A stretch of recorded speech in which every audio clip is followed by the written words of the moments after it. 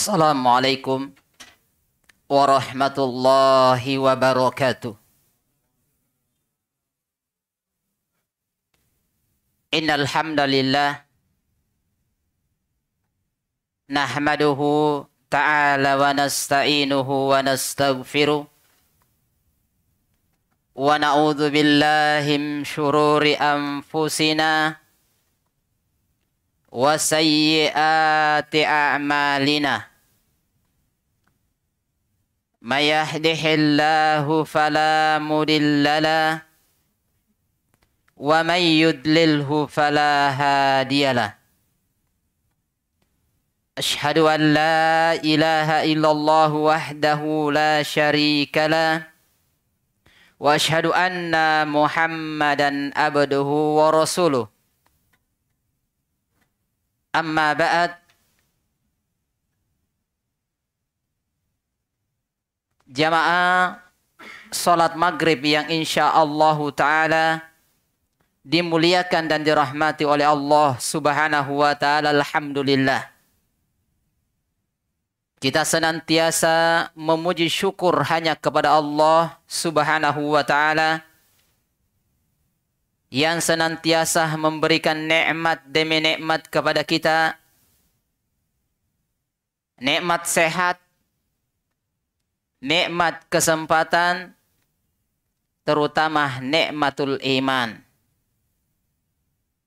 Sehingga dengan nikmatul iman ini sendiri yang mengantarkan kita untuk senantiasa beribadah dan beribadah kepada Allah Subhanahu wa taala untuk meraih yang namanya fid dunia hasanah wa fil akhirati hasanah wa kina adzabannar. Jamaah salat maghrib yang insyaallah taala dimuliakan dan dirahmati oleh Allah Subhanahu wa taala. Seseorang akan bisa meraih akan bisa mendapatkan fit dunia hasanah terkadang melalui warisan dari orang tua kita atau terkadang dari hasil kemampuan kita kerja keras kita sehingga kita bisa meraih kebahagiaan hidup di dunia tetapi ingat jamaah kebahagiaan hidup di akhirat tidak bisa diraih dengan warisan. Tetapi hanya bisa diraih dengan prestasi ibadah kepada Allah subhanahu wa ta'ala. Hanya melalui prestasi ibadah. Oleh karena itu, ini adalah motivasi dari hadit ini. Hadit Anas ibni Malik radhiyallahu an diriwayatkan oleh muttafaqun alai yaitu Imamul Bukhari dan Imam Muslim sepakat dengan hadis ini sebagaimana yang telah kita sebutkan ketika Rasulullah sallallahu alaihi wasallam berdoa Rabbana dalam sebagian riwayat di awal dengan Allahumma Rabbana atina fid dunya hasanah wa fil akhirati hasanah wa qina adzabannar Tentunya ini harapan kita semua jamaah. Jamaah yang dimuliakan ikhwa wa akhwat rahimani wa rahimahumullahu jami'an. Alhamdulillah. Tidak lupa pula kita senantiasa mengirimkan salam beserta salawat kepada Nabi kita yaitu Muhammad sallallahu alaihi wasallam dengan perjuangan, bimbingan, arahan dari Nabi kita sallallahu alaihi wasallam sehingga kita bisa merasakan nikmat keislaman sampai pada saat ini. Jamaah yang dimuliakan dan dirahmati oleh Allah Subhanahu wa taala. Di kesempatan yang singkat ini insyaallah taala kami akan membacakan satu hadis dari Nabi kita Muhammad sallallahu alaihi wasallam. Hadits ini ma'ruf indana wa indakum. Hadits ini alhamdulillah masyhur di kalangan kita. Oleh karena itu kita coba menguraikan sedikit kebaikan yang ada di dalam hadis tersebut. Mudah-mudahan harapan kita adalah dengan hadis ini yang mampu menjadikan kita fit dunia hasanah wa fil akhirati hasanah wa qina adzabannar. Yaitu hadis Abdullah ibnu Abbasin radhiyallahu an. Yang mana hadis ini diriwayatkan oleh Imam Tirmidzi dan disahihkan oleh Al-Syeikh Al-Albani rahimahullahu taala. Kita bacakan hadisnya.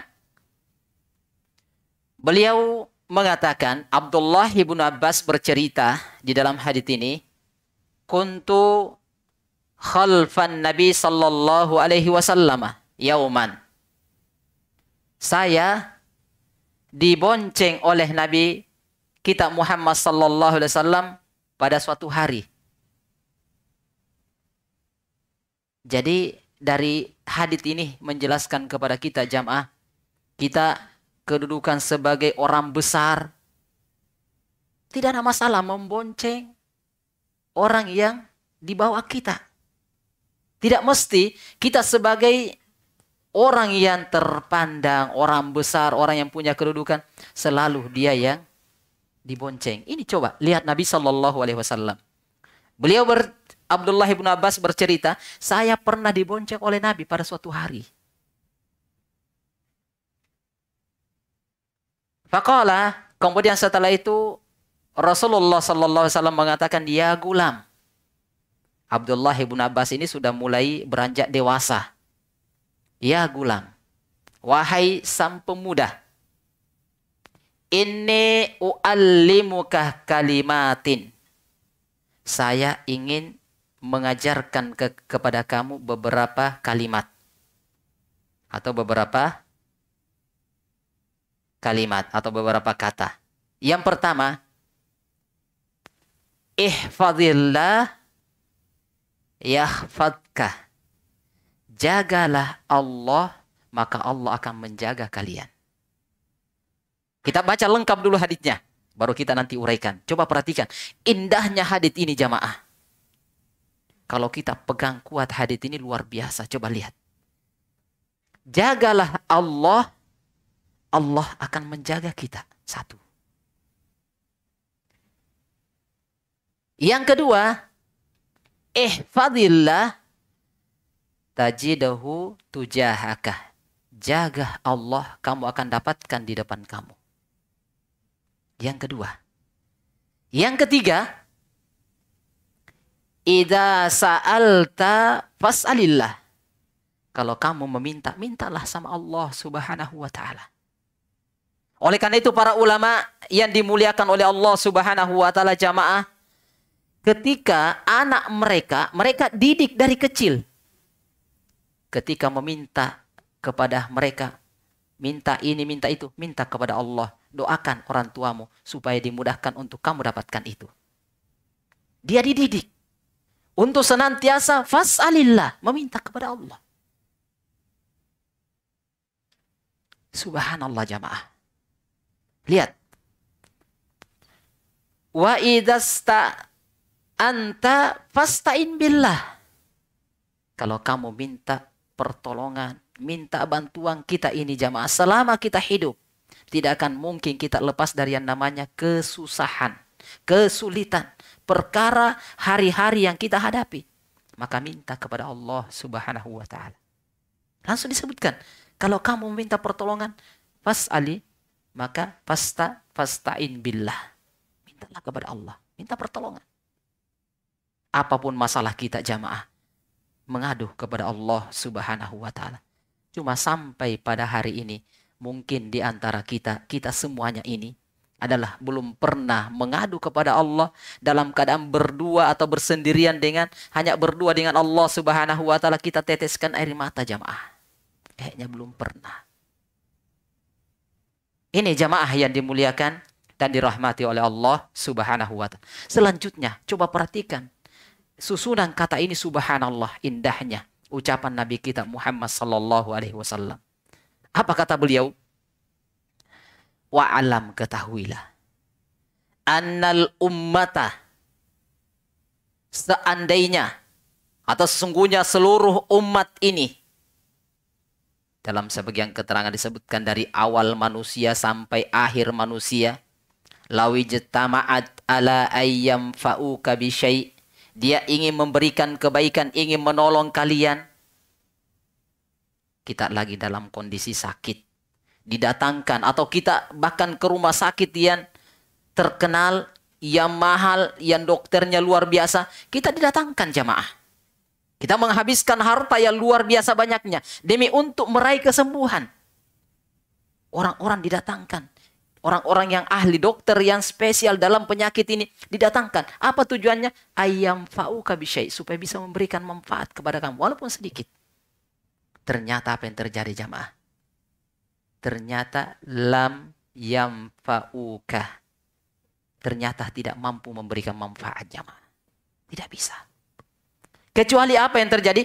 Illa bisyai'in kecuali sesuatu yang disebutkan qad katabahu Allahu lak.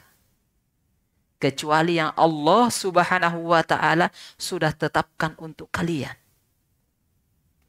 Maka ini juga ilmu penting bagi kita jamaah yang dimuliakan oleh Allah Subhanahu wa taala ketika kita usaha. Coba perhatikan jamaah ketika kita melakukan suatu usaha, usaha apa saja yang sifatnya tentunya halal, ternyata kita bertetangga orang yang buka usaha yang sama persis dengan usaha kita. Terkadang muncul penyakit jamaah. Ini tetangga saya, saya buat usaha seperti ini, dia juga buat saingan. Ini mengurangi rezeki saya. Ingat jamaah, tidak. Tidak jamaah yang dimuliakan oleh Allah Subhanahu wa taala.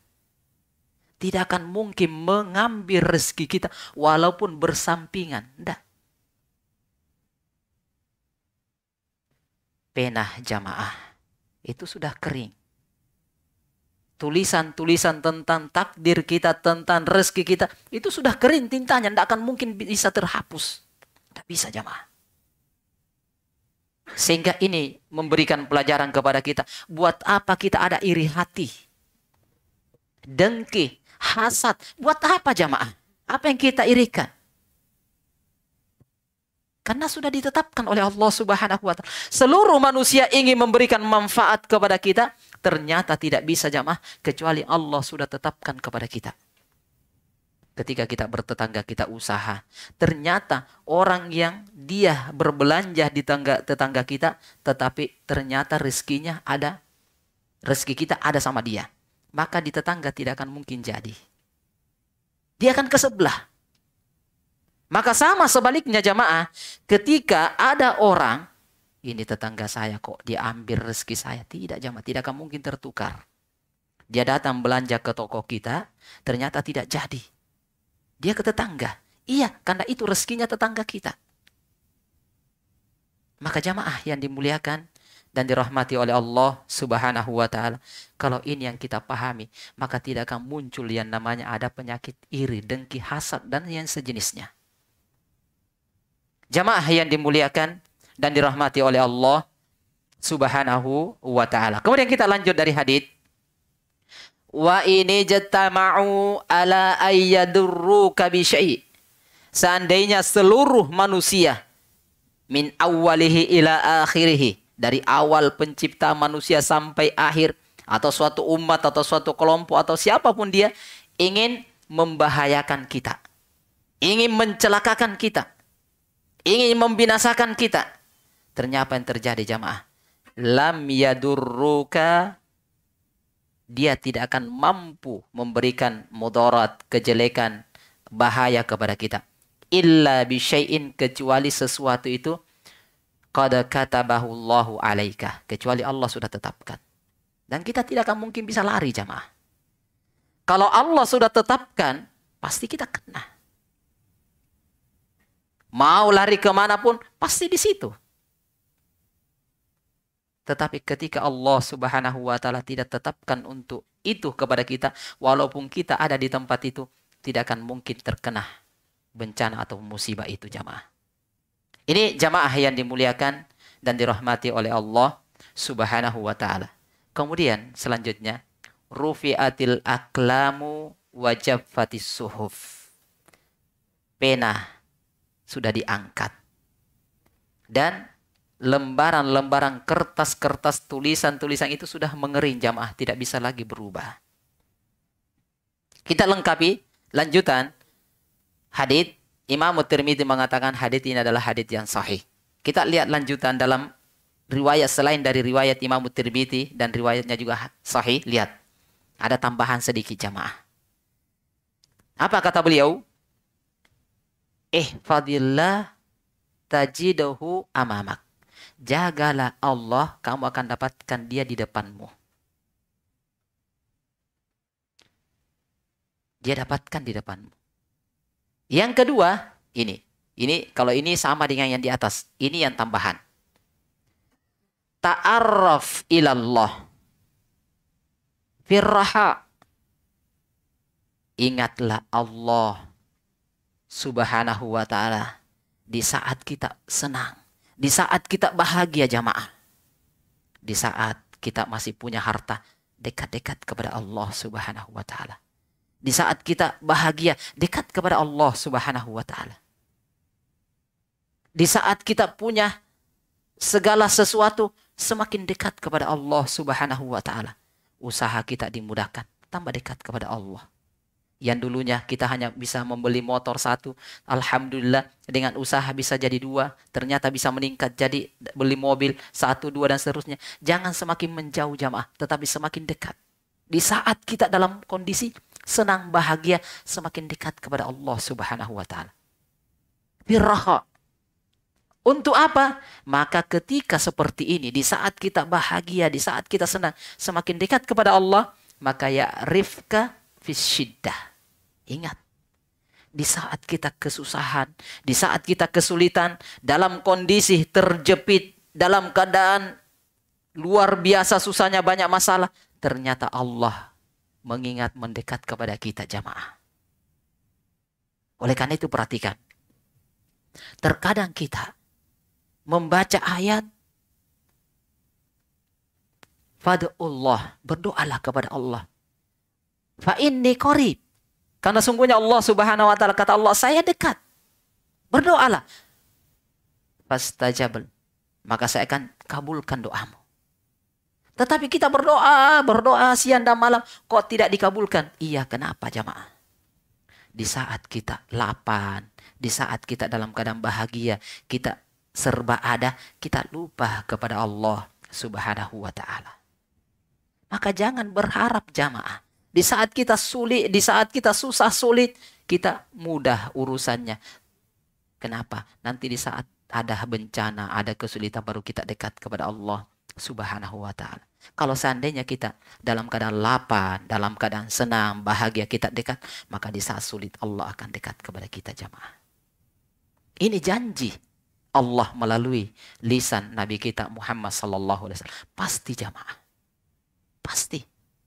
Sehingga Rasulullah mengatakan, ingat Allah, dekat kepada Allah di saat bahagia, maka Allah akan mendekat, mengenal kalian di saat kalian susah. Allah subhanahu wa ta'ala tinggal mengatakan, kun fayakun, jadi jamaah. Kalau Allah dekat dengan kita. Doa kita dikabulkan, keinginan kita, permintaan kita. Beres jamaah. Jamaah yang dimuliakan dan dirahmati oleh Allah Subhanahu wa taala ini. Kemudian kita selesaikan wa'lam annama akhta'aka lam yakun liusibak. Ketahuilah sama sebelumnya. Ketahuilah bahwasanya apa yang sudah ditetapkan menimpa kamu tidak akan mungkin tidak akan mungkin tidak akan menimpa kalian. Jadi apa yang ditetapkan tidak akan menimpa kalian, maka tidak akan mungkin menimpa kalian. Tetapi sebaliknya, wama asobaka lam yakum liuhtiaka. Tetapi apa yang sudah ditetapkan akan menimpa kamu jam sekian, hari sekian, waktu sekian, maka kita tidak akan mungkin lari. Pasti dapat. Pasti dapat jamaah. Maka wa'alam, ini tambahan dari sebelumnya. Wa'alam annan nasra, perhatikan. Sesungguhnya pertolongan, bantuan, ma'as sabar ketika disertai dengan kesabaran jamaah. Dengan sabar. Terkadang kita sudah mengenal Allah di saat kita dalam keadaan bahagia, di keadaan dalam keadaan punya memiliki segala-galanya. Kok di saat susah kita meminta merengek kepada Allah kok belum dikabulkan. Sabar jamaah. Karena Allah ingin menguji kita.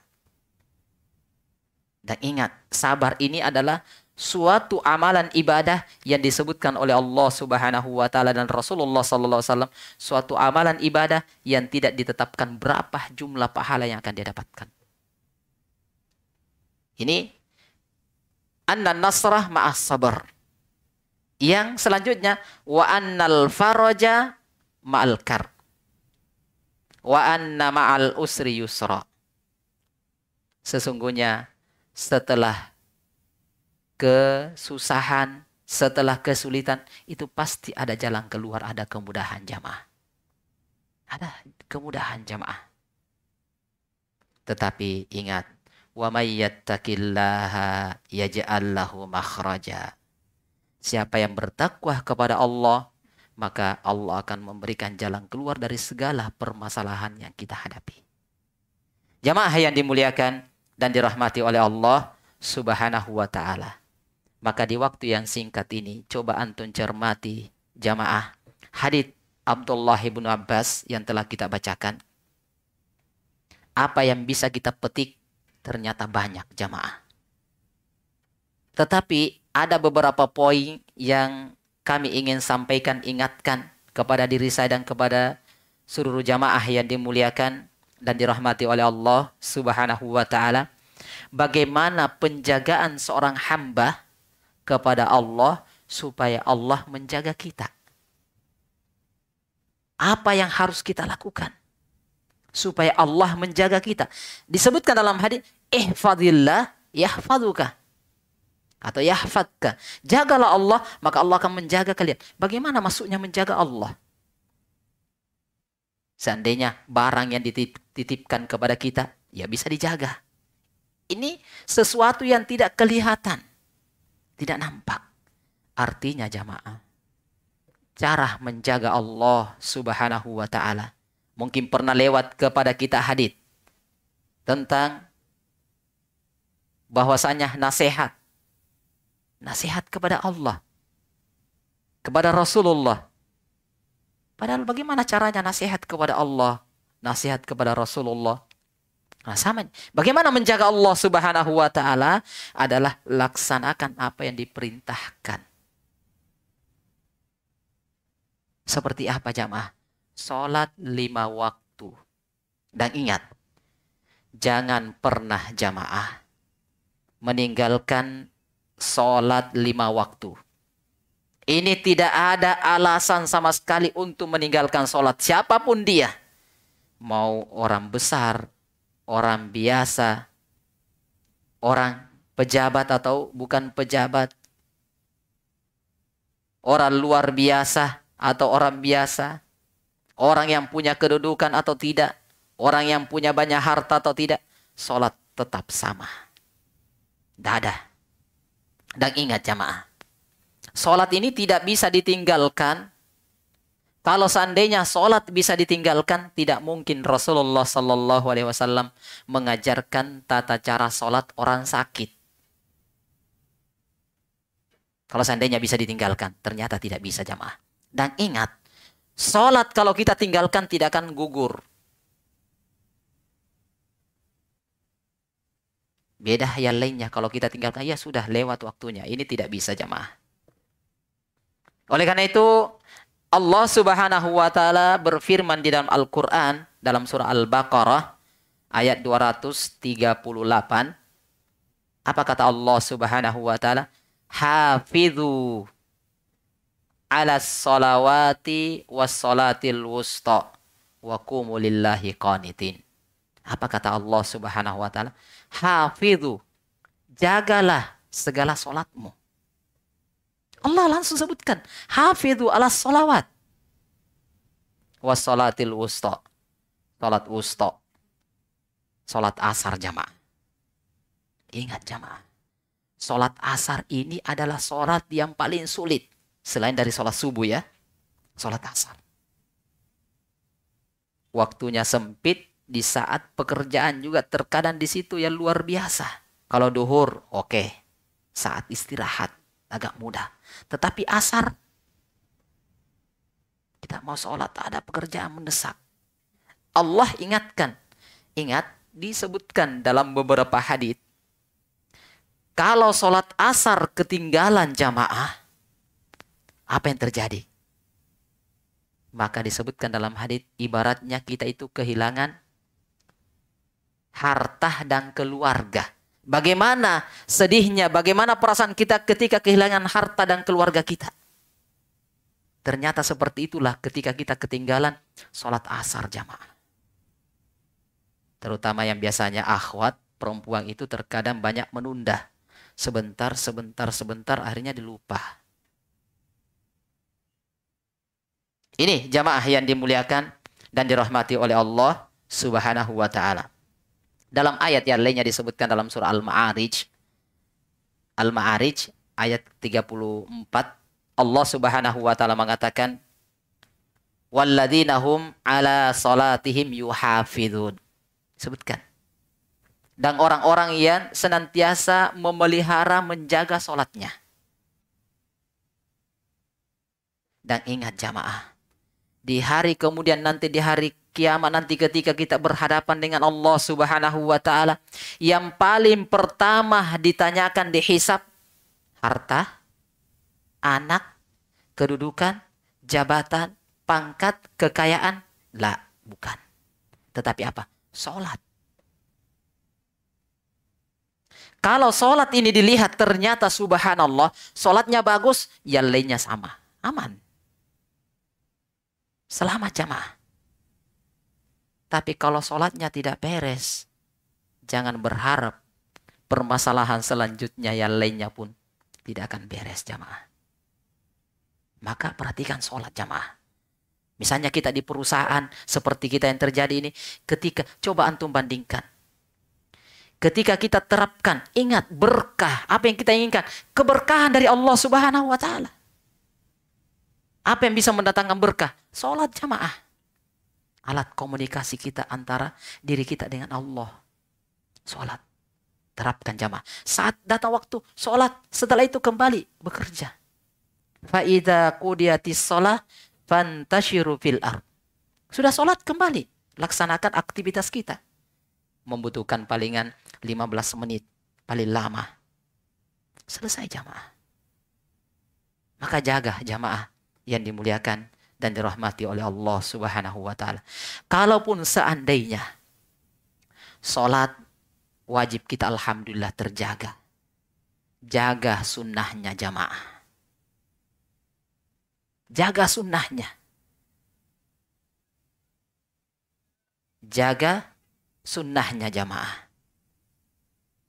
Karena ternyata ibadah sunnah jangan kita anggap enteng. Terkadang kita menganggap, iya kan itu cuma sunnah.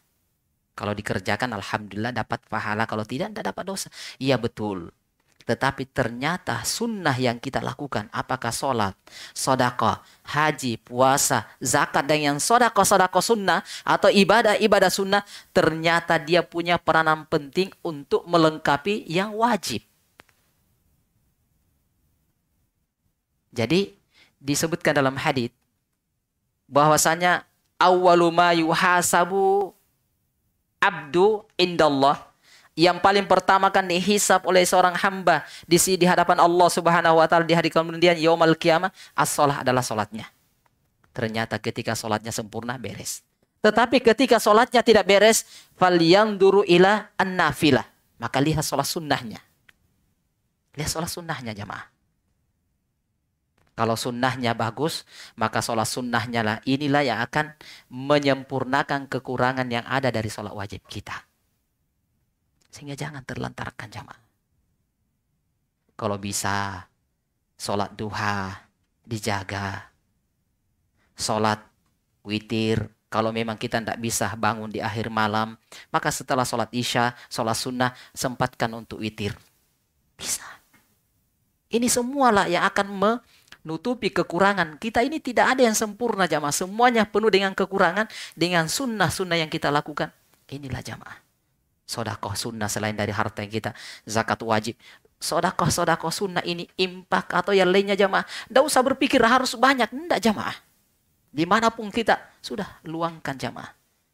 Seribu perak, lima ribu, atau dua ribu, atau mau banyak-banyak, tafadhol. Semakin banyak antum keluarkan, sodakohkan, impakkan, semakin banyak pula yang antum akan dapatkan. Dan tidak akan merugi jamaah. Tapi terkadang kita datang syaitan membisikkan, oh jangan, hartamu akan berkurang ketika kamu sodakohkan, kamu impakkan. Padahal tidak jamaah. Itulah harta kita yang hakiki. Jamaah yang dimuliakan dan dirahmati oleh Allah Subhanahu wa taala. Satu hadis yang saya ingin bacakan mudah-mudahan jadi motivasi bagi kita jamaah untuk menjaga sholat sunnah selain sholat wajib ya. Yang kita kejar selama ini apa jamaah? Adalah kita mengharapkan surga Allah Subhanahu wa taala. Ingat tadi, dapatkan kebahagiaan di akhirat hanya bisa diraih dengan prestasi ibadah, tidak bisa dengan warisan. Tidak bisa dengan kedudukan pangkat jabatan, tidak bisa jamaah. Harus dengan melalui prestasi ibadah. Maka lihat, saya akan bacakan satu hadis dari Ummu Habibah, istri Nabi kita Muhammad sallallahu alaihi wasallam. Dan hadis ini diriwayatkan oleh Imam Muslim, hadisnya sahih. Gini, apa kata Rasulullah Sallallahu Alaihi Wasallam? Ma min abdi muslim. Ma min abdin muslim. Tidaklah seorang hamba yang muslim. Yusalli lillahi kulla yaumin. Sintai asyaratah rakaah. Tidaklah kita sholat ini 12 hari, eh, 12 rakaat jamaah. Tatawuan, sholat sunnah. 12 rakaat, sholat sunnah. Bukan sholat wajib, sholat sunnah. Goyro faridoh, bukan wajib. Illah banallahu lahu baitan fil jannah. Kecuali Allah bangunkan surga.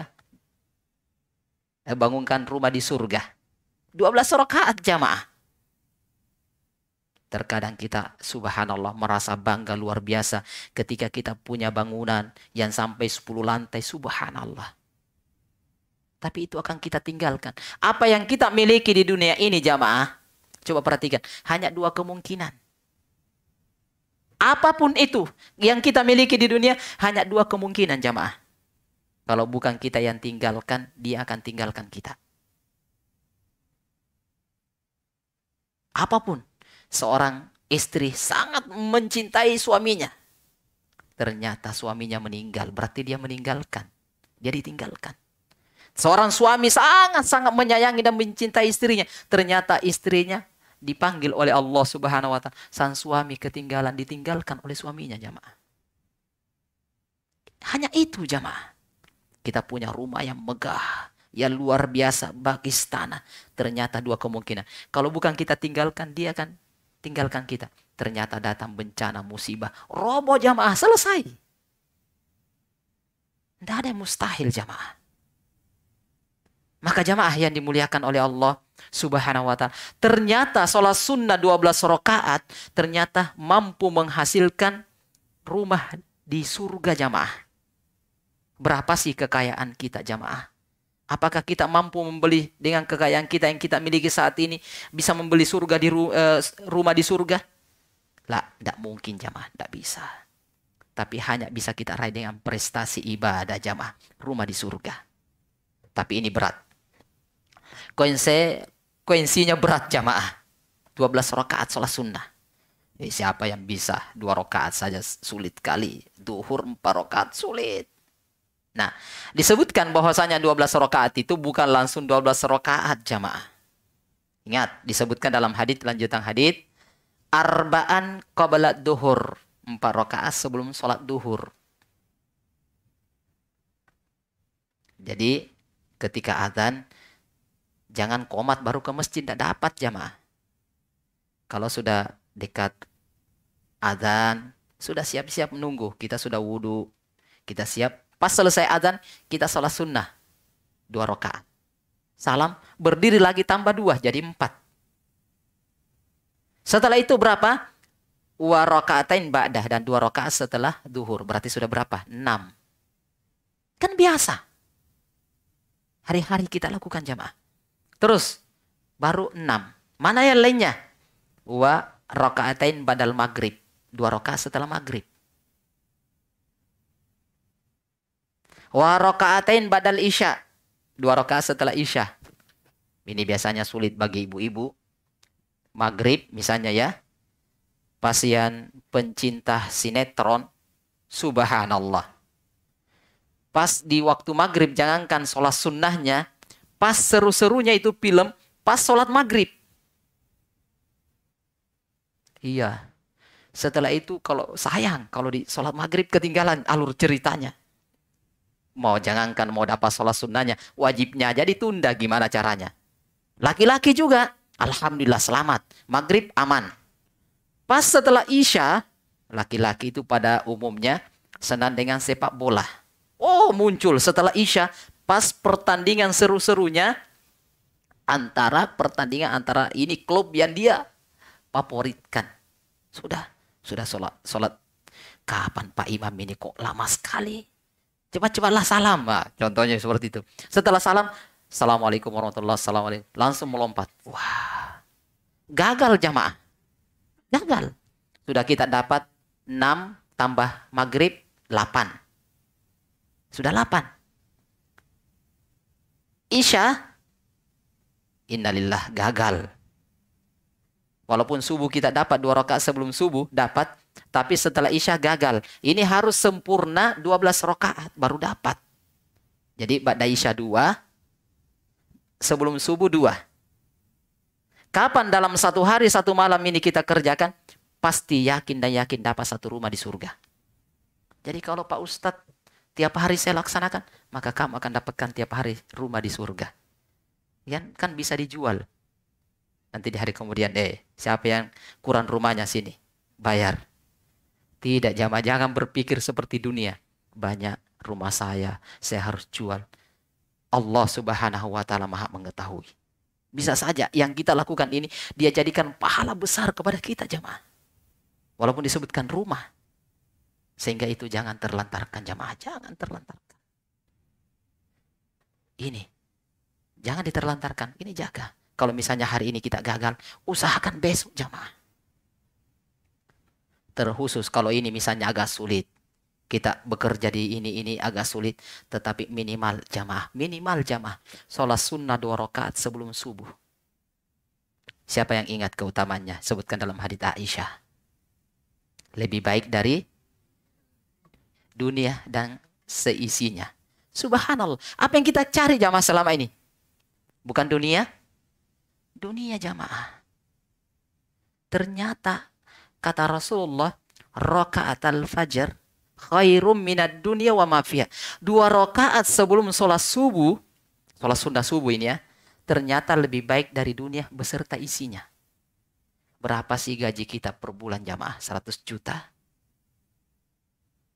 Ternyata tidak jamaah.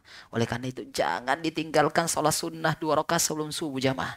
Sehingga kenapa? Ketika kita terlambat bangun, Rasulullah tetap memberikan keringanan.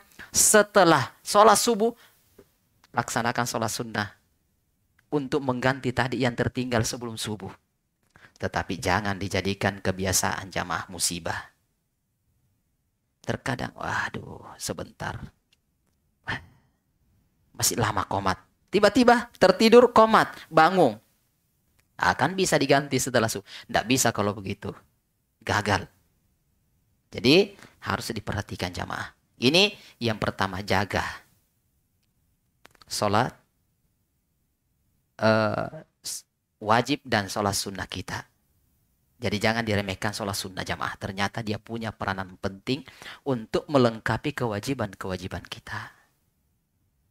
Ya Allah ta'ala alam bisawab. Waktunya sampai kapan? Masih masih lama waktu. Jangan sampai saya ngobrol, cerita. Ternyata waktunya. Masih lama waktunya. Iya, masih ya. Tolong diingatkan ketika uh, waktunya selesai sudah diingatkan. Nanti saya cuma si cerita ini. Lihat. Yang kedua. Masih, masih ada 10 menit. Masih ada 30. 3 menit. Innalillah. Sudah azan bisa? Subhanallah. Ya, secara singkat jamaah, uh, saya ingatkan salah satu di antara hal kita bisa mendapatkan penjagaan Allah, jaga haknya Allah. Itu jamaah. Jaga sholat. Yang kedua, jaga kepala dan perut.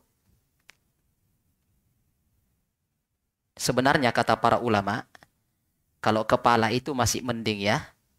Ada dua hal yang sangat sulit untuk dijaga siapa pun dia. Mau ustadz, mau pak kiai, mau bukan ustadz, sulit ini jamaah. Kecuali penjagaan dari Allah subhanahu wa ta'ala. Apa itu? Cuma satu jengkal tempatnya jamaah. Perut dan di bawah perut. Cuma satu jengkal jamaah. Kalau dua ini bermasalah, masalah besar. Kata para ulama hanya satu jengkal jamaah. Inilah yang diingatkan.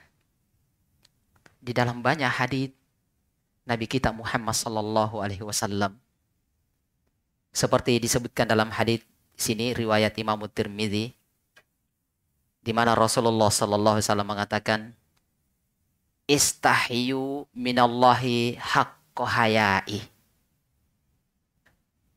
malulah kepada Allah Subhanahu wa taala dengan sebenar-benarnya malu. Kalau masalah kebenaran jangan malu jamaah. Ada yang tidak jelas kita tanyakan. Kita bertanya kepada orang yang lebih paham. Jangan malu masalah kebenaran. Tetapi hendaknya kita malu terhadap kejelekan maksiat kita jamaah. Jangan lihat maksiat yang kita lakukan. Ah ini kan kecil, perkara remeh. Jangan itu dilihat jamaah. Tetapi kepada siapa kita bermaksiat. Itu yang butuh dilihat. Kalau itu yang menjadi peringatan atau perhatian kita kepada saya, kepada siapa saya bermaksiat, maka kita akan menjaga diri kita. Maka Allah pun akan menjaga kita. Akan menjaga kita. Maka disebutkan, فَلْيَحْفَذِ ar-ra's." Jagalah kepalamu. Wama wa'a. Dan apa yang ada di dalam kepala jamaah hendaknya kita ya banyak berpikir pikiran-pikiran yang positif jamaah. Tidak usah terlalu banyak. Kayaknya ini begini, kayaknya ini. Tidak usah jamaah. Terlalu banyak berprasangka jelek kepada orang, cukuplah kepada diri kita jamaah. Kita ini terlalu banyak dosa, memikirkan dosa orang lain. Terlalu banyak jamaah. Cukup kita pikirkan apa yang ada pada diri kita. Kalau di kepala ini terlalu banyak mengurusi urusan orang, gosipnya terutama biasanya pada akhwat, perempuan-perempuan naudzubillahi min dzalik. Ketemu jangankan yang digosipi, berita yang ada, suaminya terkadang masuk dalam gosip. Naudzubillahi min dzalik. Waduh, suamiku kurang kurang kurang cakep. Suamiku kurang mantap. Ini kan me merusak apa yang ada di kepalanya. Jadi kita sudah lebih baik kita sibukkan dengan kiraatul Quran, baca Al-Quran, zikir pagi sore, memperbanyak istighfar. Tidak usah memusingkan ini dan ini. Terlalu banyak yang mau diurus. Ini. Kemudian wal batona wa ma hawa dan perut beserta apa yang ada di dalam perut. Karena kalau perut juga diisi, kerjanya diisi dan diisi dan diisi dan seterusnya, maka apa yang terjadi jamaah? Itu akan menyebabkan masalah juga pada badan. Sehingga Rasulullah masalah urusan perut ini diusahakan diisi sepertiga-sepertiga. Walaupun beda-beda sepertiganya si A dengan si B dengan si C. Tapi artinya kata para ulama ketika makan berhentilah sebelum kenyang makanlah sebelum lapar. Sisakan sepertiga untuk makanan, sepertiga untuk air, dan sepertiga untuk udara. Nah itulah yang paling sehat jamaah. Kemudian kata beliau, waman aradal akhirata tarakah zinatad dunia. Ini subhanallah. Siapa yang menginginkan kehidupan akhirat, maka hindari hendaknya dia meninggalkan perhiasan dunia. Bukan berarti kita tidak butuh dengan dunia jamaah. Tetapi jadikan dunia sebagai dunia. Kita yang mengatur dunia, jangan kita yang diatur jamaah. Artinya bagaimana? Di saat ada kewajiban kepada Allah kita laksanakan, kemudian kita laksanakan dunia kita. Itu jamaah yang dimuliakan oleh Allah Subhanahu wa taala. Faman fa'ala dzalika faqad istahya minallahi haqqo hayai. Maka siapa yang melakukan ini, maka itulah dia sebenar-benarnya malu kepada Allah Subhanahu wa taala. Jadi karena oleh karena itu ketika kita ingin bermaksiat, Allah Maha melihat. Kita dalam keadaan bersendirian takut bermaksiat. Kenapa? Allah Maha melihat. Allah Maha mendengar. Ini jamaah yang dimuliakan oleh Allah Subhanahu wa taala dan ingat jamaah. Dalam hadis Nabi sallallahu alaihi wasallam dalam hadis Abu Bakar As-Siddiq disahihkan oleh Syekh Al-Albani rahimahullah taala kullu jasadin nabata min suhti atau min suhtin fannaru aulabi kullu jasad semua jasad tubuh kita ini tumbuh berkembang dari sesuatu yang haram maka neraka lebih pantas untuk dia nah ini semua yang kita hindari jamaah kita ingin bagaimana Allah menjaga kita. Supaya Allah di saat kita sendiri, Allah menjaga kita. Membuat kita malu ketika ingin melakukan sesuatu yang Allah larang. Itu dengan penjagaan Allah subhanahu wa ta'ala. Ini jamaah yang dimuliakan dan dirahmati oleh Allah subhanahu wa ta'ala. Intan surullah yang surukum. Kalau kalian menolong Allah, pasti Allah akan menolong kalian. Yakin saja jamaah. Wallahu ta'ala al-bisawab. Adhan. Fadal. Barakallahu fikum.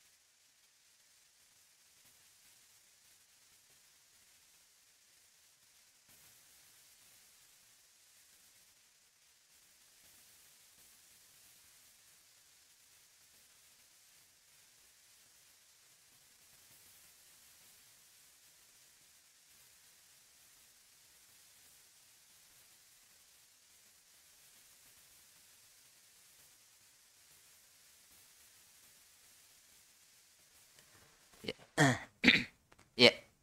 Uh, kita lanjut. Insyaallah. Jadi walaupun saya singkat secara singkat ya. Yang ketiga, yang apa yang harus kita lakukan supaya Allah Subhanahu wa taala menjaga kita? Yang ketiga adalah menjaga lisan. Lisan kita jamaah.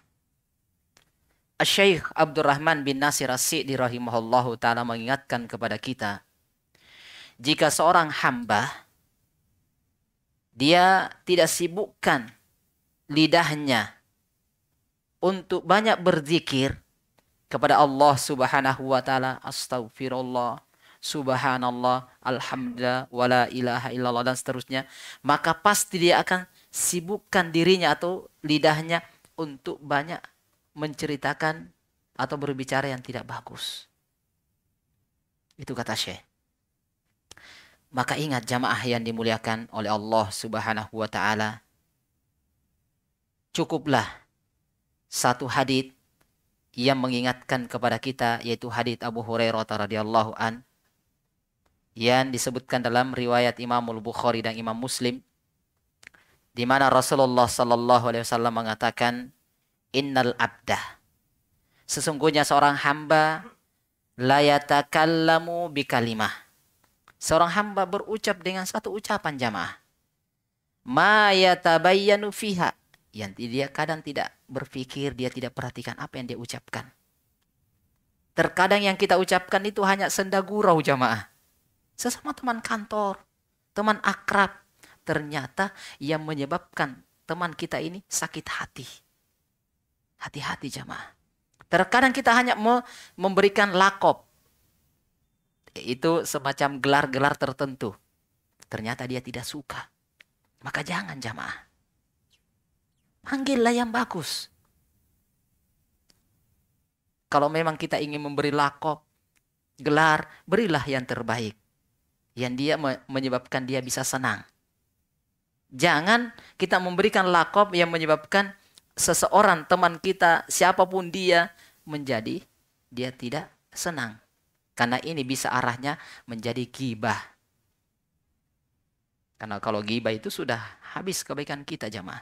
Dia senang. Oke lah, silakan ceritakan kejelekan saya. Nanti di hari kemudian saya minta mana kebaikanmu. Maka kita akan binasa jamaah. Kita yang rugi. Itu dia tidak beramal dengan amalan kebaikan kita luar biasa jeripayah kita beramal, beramal, beramal. Ternyata kita senang bergibah. Sering menggibahi. Seorang istri dia gibahi tetangganya, suaminya, orang lain. Tidak usah jamaah. Seorang suami juga suka menggibahi, menceritakan kekurangan istrinya. Juga bisa terjadi gibah. Pernah kejadian jamaah. Aisyah radhiyallahu anha istri Rasulullah. Namanya seorang perempuan ya pasti ada saja uh, sifat kecemburuan kepada uh, istrinya Nabi kita Muhammad sallallahu alaihi wasallam dengan lainnya. Ketika itu Rasulullah menggambarkan tentang Sofia. Sofia itu begini.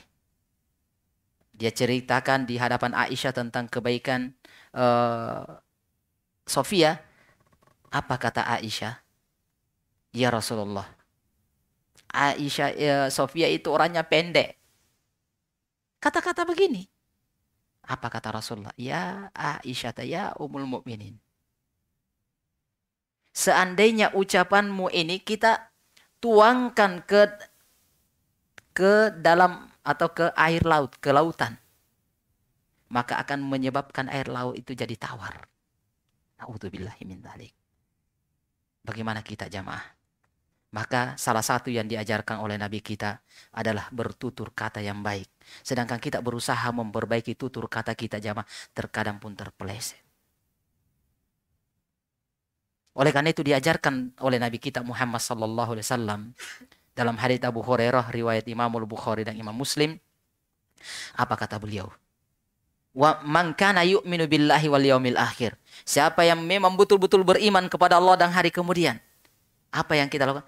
Falyakul khairan. Hendaknya dia mengucapkan ucapan yang baik. Lihat, dalam hutbatul hajah sering kita dengarkan. Ya ayyuhalladzina amanu. Wahai orang-orang yang beriman. Ittaqullah, takutlah kepada Allah. Wa qulu qawlan sadida. Ucapkanlah ucapan yang lurus, yang baik. Ucapan yang terbaik. Kalau tidak bisa berucap dengan ucapan yang terbaik, fal yasmut lebih baik diam.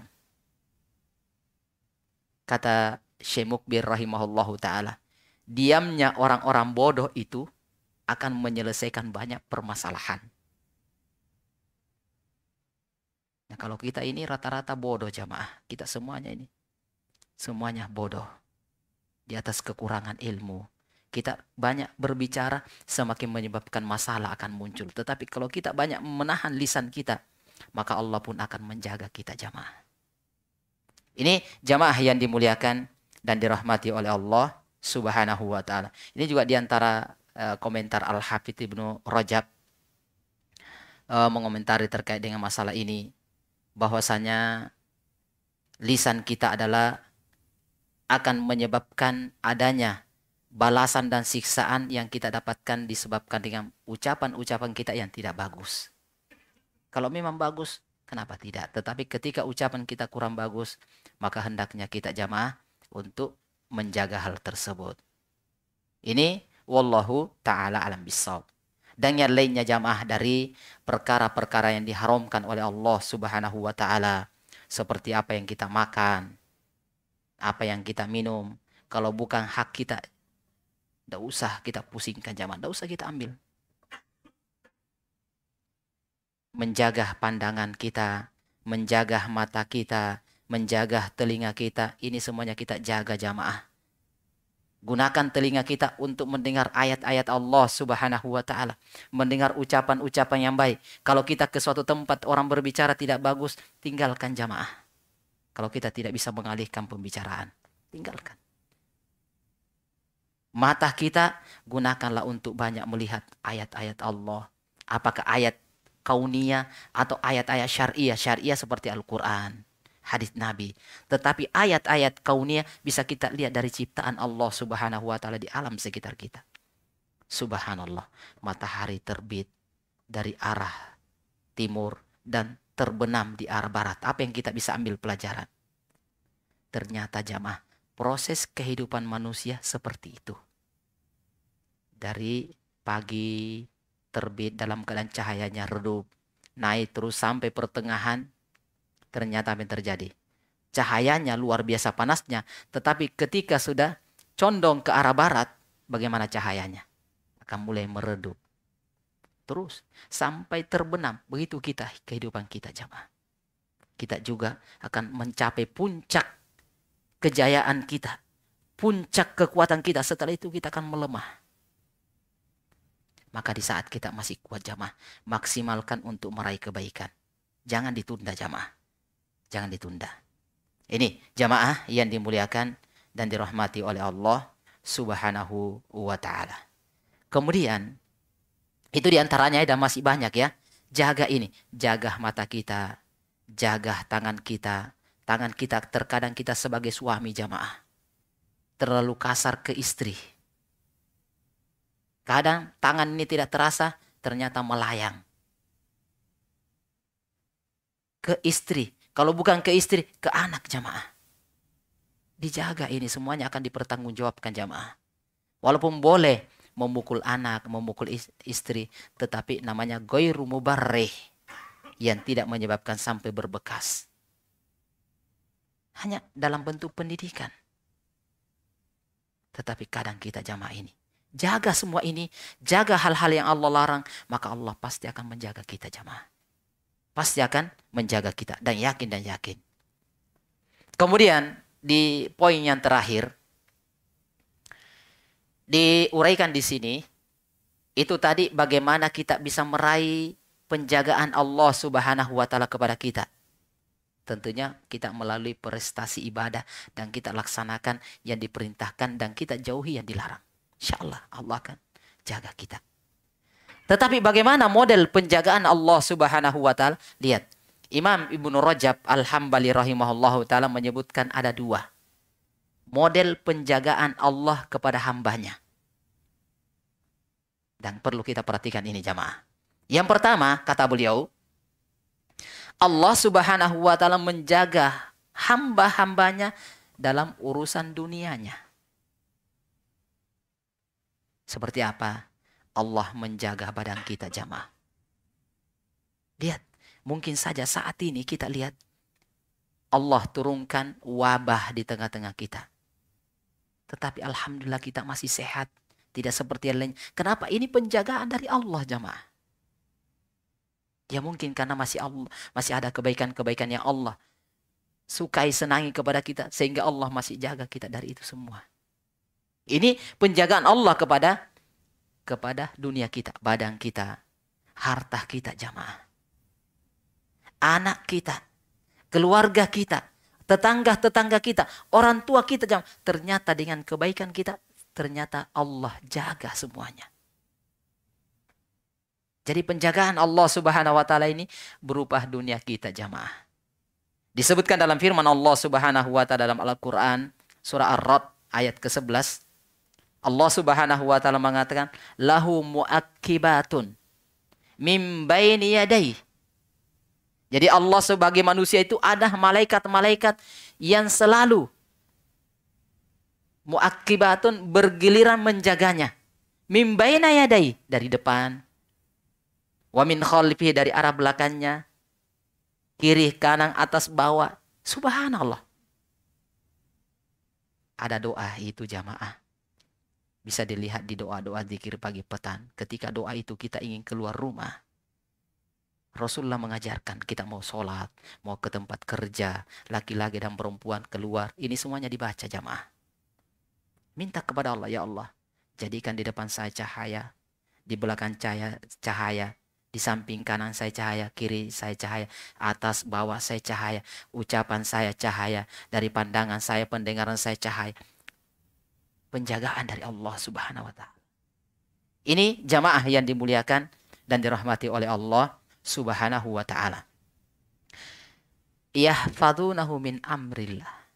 Yang mana mereka menjaga di atas perintah Allah Subhanahu wa taala. Malaikat diutus untuk menjaga kita jamaah. Menjaga harta kita, menjaga keluarga kita, menjaga gara-gara kita jamaah, menjaga hak Allah, ternyata tetangga aman jamaah. Subhanallah. Ini jamaah yang dimuliakan oleh Allah Subhanahu wa taala. Lihat. Wa kana abuhuma salihan. Dalam ayat yang lainnya dalam surah Al-Kahfi. Kata para ulama, Imam Ibnu Katsir mengatakan tentang dalam surah Al-Kahfi ayat 82. Di dalam ayat ini bahwasanya ada seorang yang soleh yang senantiasa dijaga keturunannya oleh Allah Subhanahu wa taala.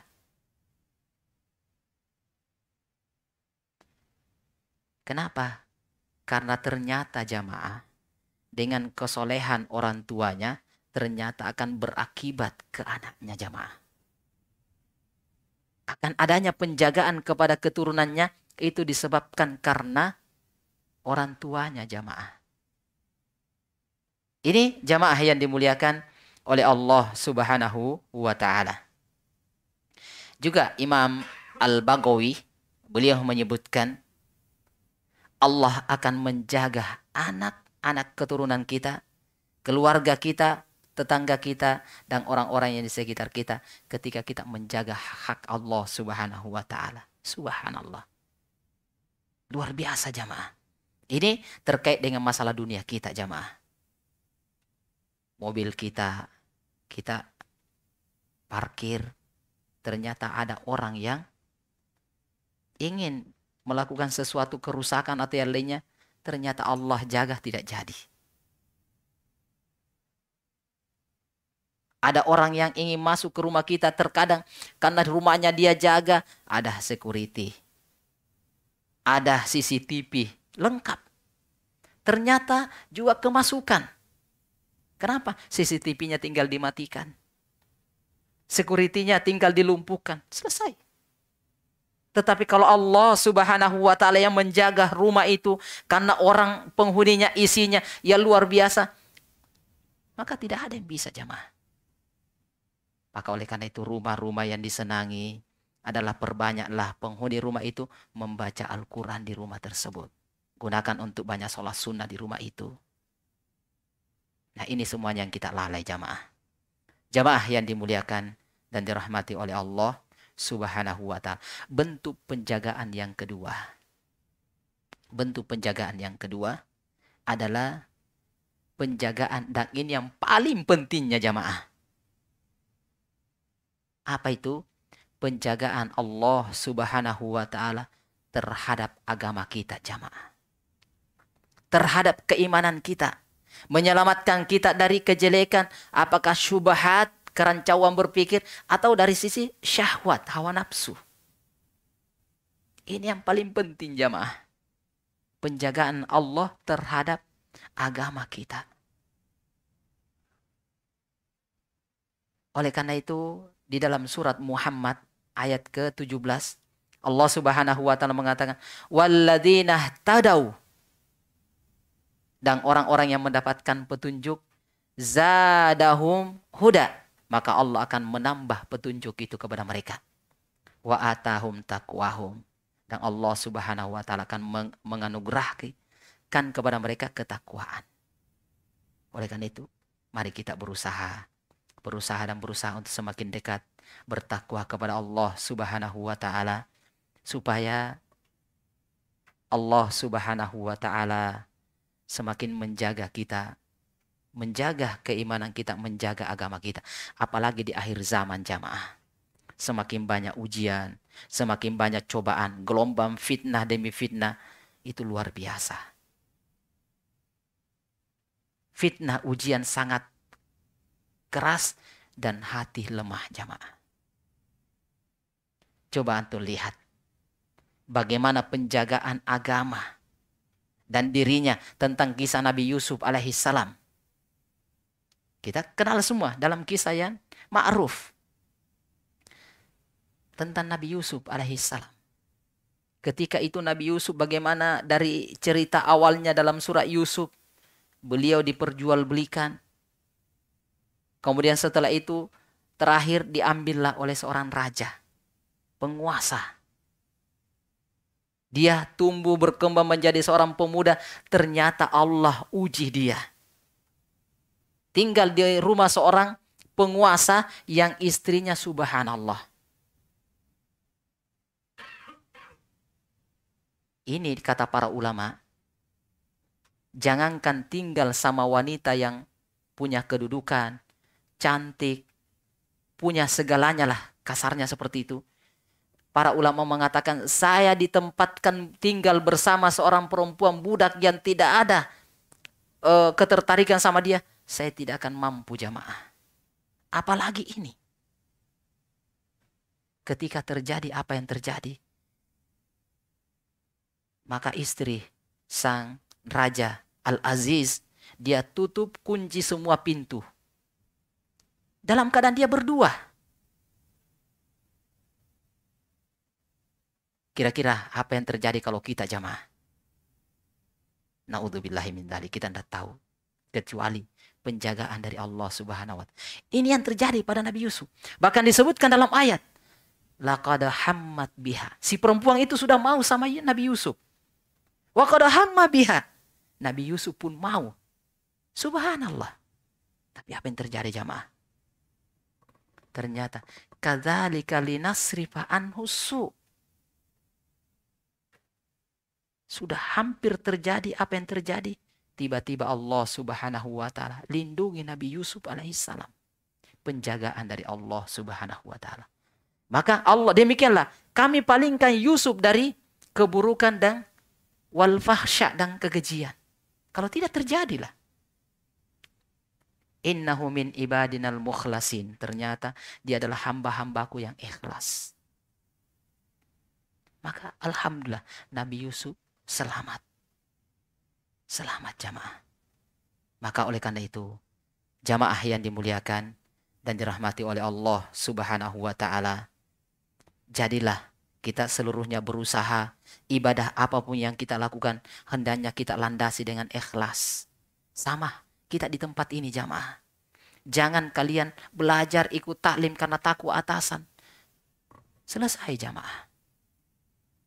Tetapi betul-betul karena semata karena Allah subhanahu wa ta'ala. Saya ini makhluk yang bodoh. Saya ingin belajar mengurangi kebodohan yang ada pada diri saya.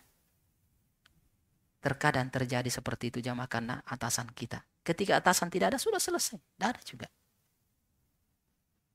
Inilah yang akan dijaga adalah orang-orang yang ikhlas.